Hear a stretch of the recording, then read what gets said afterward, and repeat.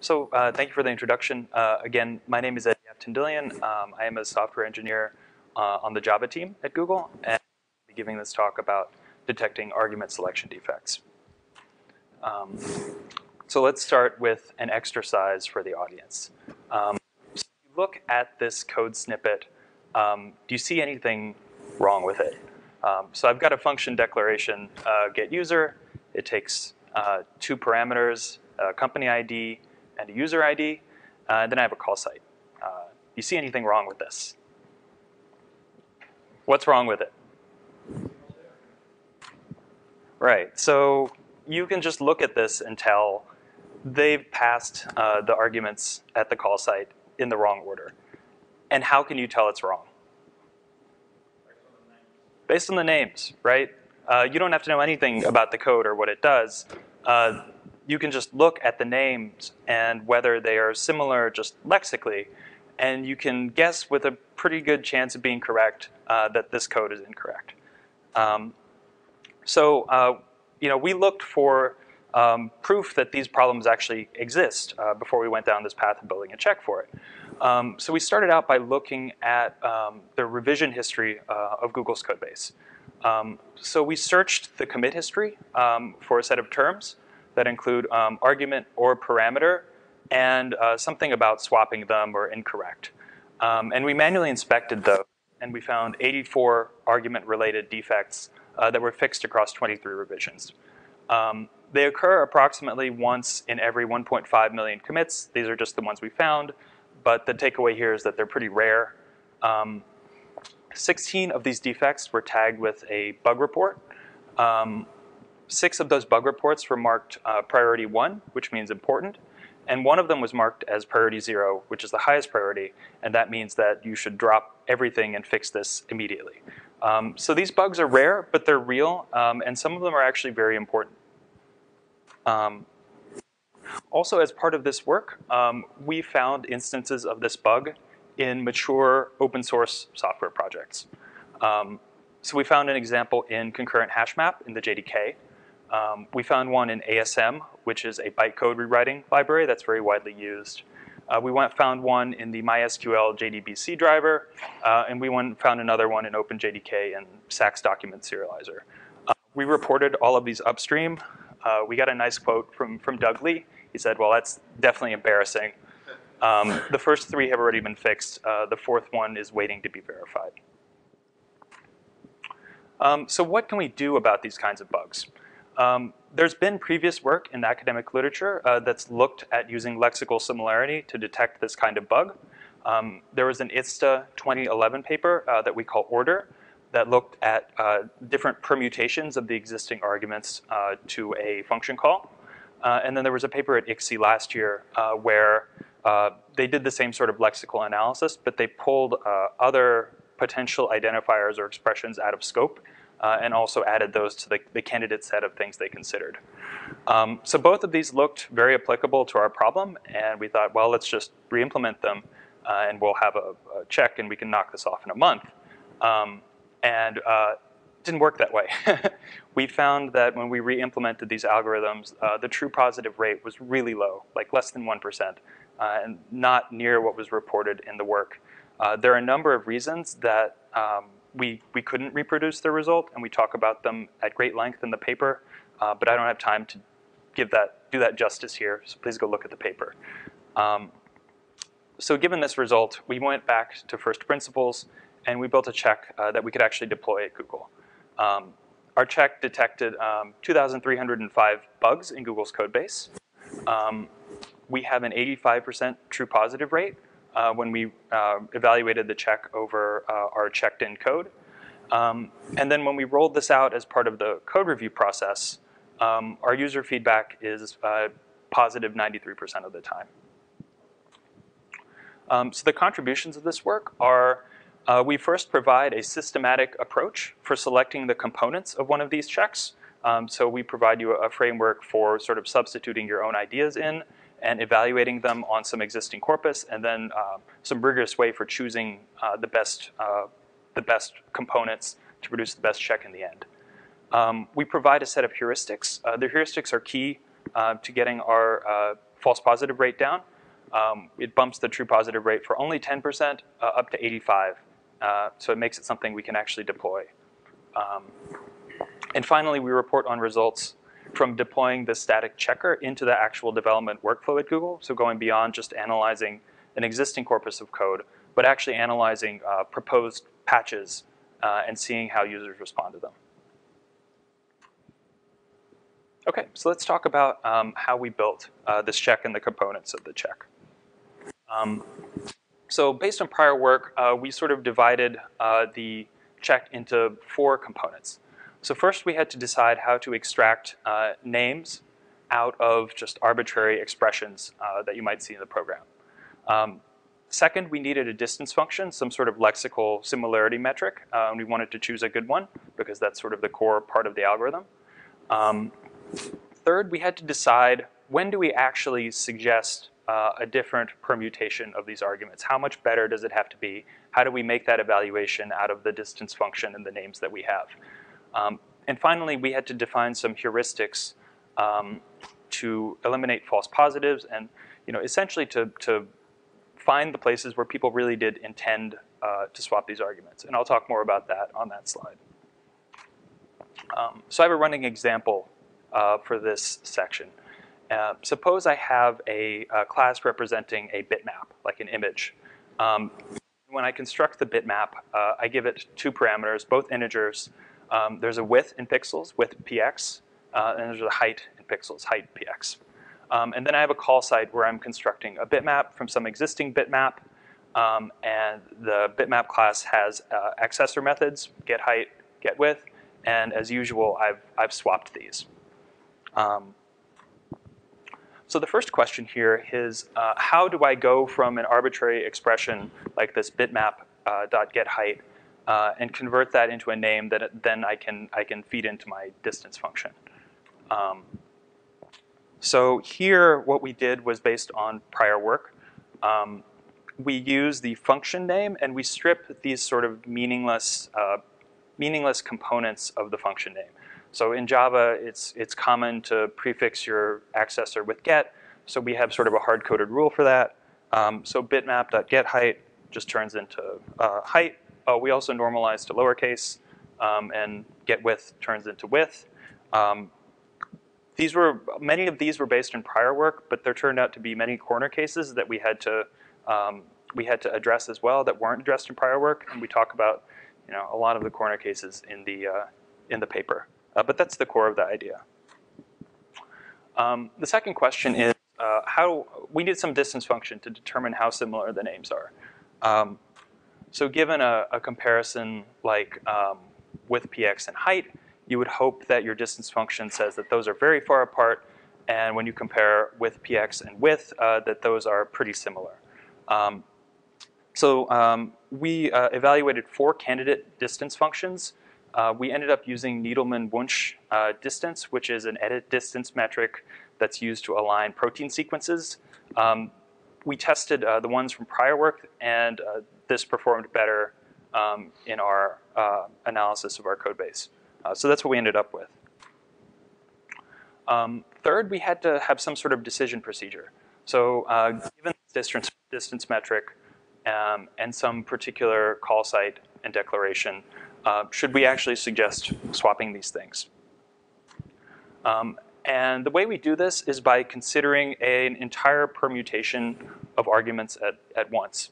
Um, so initially, we, we compared each potential swap independently, uh, but we found that that produced a whole lot of false positives. Uh, you would end up in cases where you would just duplicate an argument and pass the same thing twice into the function, and that was clearly wrong. Um, so we ended up um, evaluating an entire permutation of arguments uh, together. Um, so we look, so in this case, we're summing over uh, the each position. I is the position uh, in the uh, call to the function. So we, um, the, the distance uh, for the original argument, we subtract the distance for the proposed argument. We sum them across all the arguments. We divide by the total number of uh, arguments there are, which is n. Um, then we look, we, we have a threshold. And the threshold was experimentally chosen. Uh, we chose it at 0.6 to minimize false positives. Um, Uh, and then finally, uh, we had to add heuristics to weed out uh, false positives. Um, so consider, consider this case. Uh, so I have a call site. I'm in a function called rotate. And I give it a bitmap. Uh, and then I return a new bitmap uh, where I've swapped the arguments. again, just from, from looking at the code, you can probably guess that the programmer intended to do this. Um, so we encode a set of heuristics to try to catch places like this. So we look at places where you are inside a function called rotate or flip or invert or something like that. Um, we have another heuristic uh, where if we uh, if you are in a um, let's say you're in an if statement and in both branches of the if there there are two uh, calls to this constructor and if you swap them you're going to end up with the same call on both sides of the if you're probably wrong there because you probably intended to do something different on the two branches um, there are a few other heuristics. Um, these sort of structural heuristics are novel from our work, uh, and altogether they take the, um, the true positive rate from very low uh, to 85%. Um, oh yeah, so, yeah, so the context here tells us the swap is intentional, and our heuristics encode that. Okay, so let's talk about our results. Um, so we implemented a static check uh, using these components uh, in ErrorProne, which is uh, Google's static analysis tool for Java code. Um, it's open source. It's on GitHub. Uh, you can go check it out. There are a whole bunch of other patterns, but this is this is the one we did for this paper. Um, we ran this checker over um, all of Google's checked-in code. Uh, I'll I'll talk about what that corpus looks like in a second. Um, but we looked for existing instances of this bug. Um, and then we also integrated this checker into Google's code review system uh, using a system called Tricorder that there's a 2015 ICSE paper about. Okay, um, so for the checked-in code, uh, we ran the checker over um, some large Java code bases. Um, 200 million lines of the, uh, the corpus were Google authored, and 10 million were non-Google authored. They were third-party code. Uh, they're mostly open source code. Uh, and the reason we separated out these uh, corpuses was we wanted to make sure that our result um, held uh, even for non-Google authored code. So it holds for open source code, and it, it's a result that the research community can um, have some confidence in. And we did find that our result holds. Um, across both of these corpuses, we found a total of about 2,300 uh, true positives um, when we set the thresholds fairly, fairly high to find a lot. Uh, when we set the thresholds to minimize the false positives, we ended up with 459 true positives uh, and 78 false positives. Um, so we had an 85% true positive rate. Um, the interesting bit here was that uh, when we analyzed this checked-in code, many of the bugs we found were not very impactful. So there's this survivor effect of if you have a mature code base, um, the bugs that are sort of left in it tend not to be things that, that manifest commonly or visibly. Um, so for example, uh, the concurrent hashmap bug, bug that I mentioned uh, on one of the first slides, uh, it turned out that the, um, the order of the arguments in a parameter, in a, in a function declaration were swapped, but then at all the call sites, they were swapped in an equal and opposite way. Uh, so, you know, Doug said that's embarrassing, but in practice, there were, there were no actual uh, sort of correctness issues uh, for, from using the code that a user could see. Um, the, second, the second place you see these things are in rarely taken code paths. So in the ASM bug uh, I mentioned, um, we reported it to the uh, upstream maintainers. They said, well, yeah, that's a real problem, but it's been there for 13 years, and apparently no one just no one does that. um, so this is a this is a problem when you're you're trying to do one of these uh, bug detection uh, papers, and all you have to look at are existing code bases. Um, so we deployed uh, this check into the developer workflow at Google, uh, and it analyzes uh, proposed patches to the code base. So in that case, we would expect to find better results. We would expect to find real bugs. Um, and uh, that turned out to be the case. So people were, were generally happy when they saw our analysis in the code review tool. So these are, are snippets of human comments um, on the, uh, the findings that we inject into the code review. Um, so the first the, the, names have been sanitized to uh, protect the innocent. But you know, this first person, uh, first person says this is a nice catch. Uh, the second one says that's one slick error prone, which our team was really happy about. Uh, the second one is also really nice because points out that there's no unit test that would have found this. And then the, the person uh, who was proposing the change actually went and added a unit test as a result of getting uh, this static finding. So we not only improved the quality of the production code, but we also improved the quality of the tests. Uh, so that was really nice. Um, as part of the tricorder system, uh, tricorder um, collects statistics on how uh, users respond to findings. So users uh, have three possible ways to respond to a finding, that uh, a robot finding that they get in their code review. Um, the reviewer can click please fix, and that tells the reviewee that this is a real problem uh, and you need to fix it or I'm not going to accept your patch. Um, the reviewee can click uh, apply fix, um, which takes our suggested diff and just applies it directly in their client. So that's also a signal of uh, they, they agree with the thing that we uh, pointed out and proposed. And finally, either the reviewer or the reviewee can click not useful. Um, and that means that they disagreed uh, with our finding.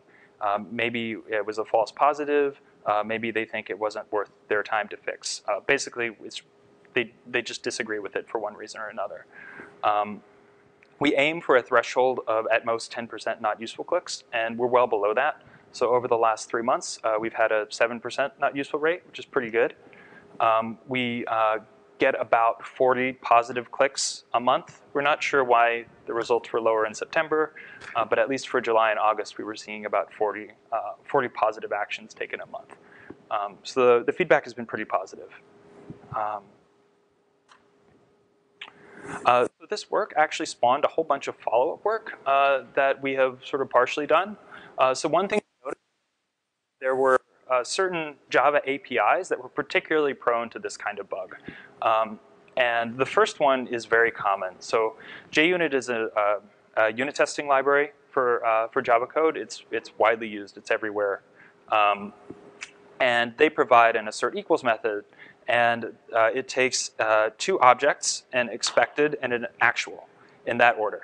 If you get it wrong, uh, you get a bad error message when it fails. Um, but most of the time you get it right because you wrote your unit test correctly. Um, so people get this wrong all the time. Uh, we wrote a specific check for that library uh, where we can be uh, much stricter about what we allow you to do because we understand the semantics of the library.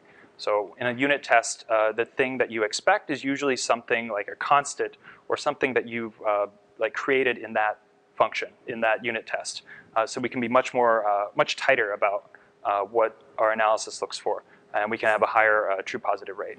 Uh, we have a second one for auto value, which is a particular library, particular library that's widely used inside. Um, the second uh, sort of line of follow-up work um, has been about named parameters for Java. So other languages let you tag arguments with the name of the parameter that they go with, but you can't do this in Java. Um, when we were uh, when we were looking at the results from analyzing our code base, we found that people were inserting comments that looked like that. Uh, so if they were intentionally swapping these arguments, uh, they were they were putting a note in there to readers of the code that like, yes, I really intended to do this. Um, so we ended up writing another check that sort of simulates named parameters for Java. Uh, and if you write your comment in this form, uh, then we check that the, the name that you put in the comment actually matches the parameter name, and we fail your build if you're wrong. Um, and we've seen some moderate uptake of that. Um, and finally, the, the third piece of follow-up work um, has been looking at actually getting uh, named parameters into the Java language. Um, and while we're at it, why not just do optional and default uh, parameters at the same time? Um, so we're sort of, uh, we're trying to draft a JEP, a JDK enhancement proposal, uh, and we'll pitch it to upstream, and maybe we can convince them to, to let us do it. Um, so in conclusion, uh, we've defined a systematic approach for selecting the components of one of these lexical similarity-based static checks. Um, we've provided a set of heuristics that greatly reduce the false positive rate. Um, and we've deployed this check on proposed patches during the uh, developer workflow at Google, and we've re reported results from the field.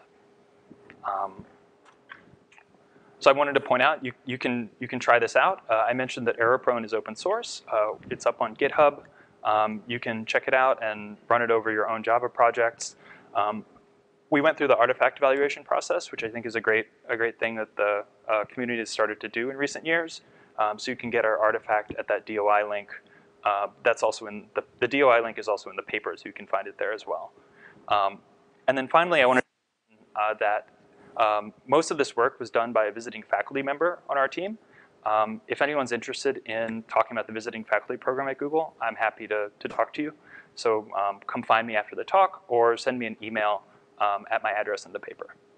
All right? Thank you. Any questions?